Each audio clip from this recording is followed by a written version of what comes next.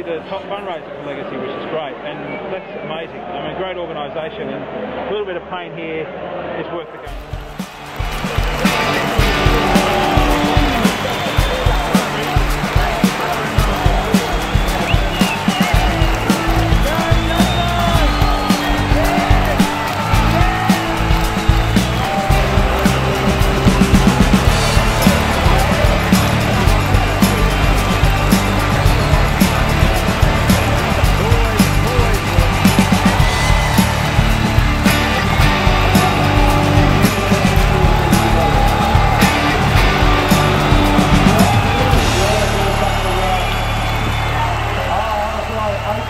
Okay. There you go.